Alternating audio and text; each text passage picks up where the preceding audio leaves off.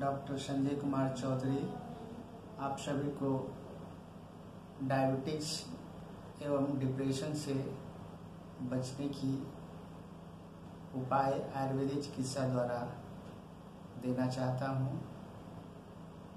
अगर आप डिप्रेशन के शिकार हैं, तनावग्रस्त ज़िंदगी जी रहे हैं तो आप शुगर से निवारण, डायबिटीज़ से निवारण नहीं पा सकते हैं।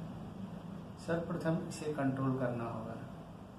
उसके बाद योग प्राणायाम खान पान